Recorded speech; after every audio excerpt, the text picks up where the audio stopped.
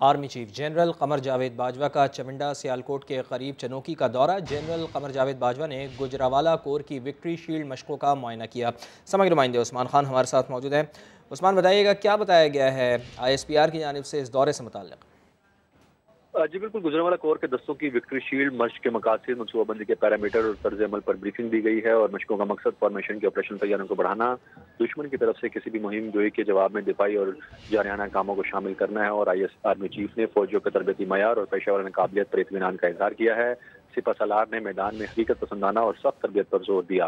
General Bajwa का कहना था कि ऐसी मशकें फौजियों के अहतमाद को बढ़ाने, हम हमारी जंगी सलाहियत को बेहतर बनाने में मदद करती हैं और आर्मी चीफ जब पहुँचे हैं तो fourth commander Gujranwala, lieutenant general Mohammad Amir ने उनका इस्तेमाल किया था। जी, बहुत शुक्रिया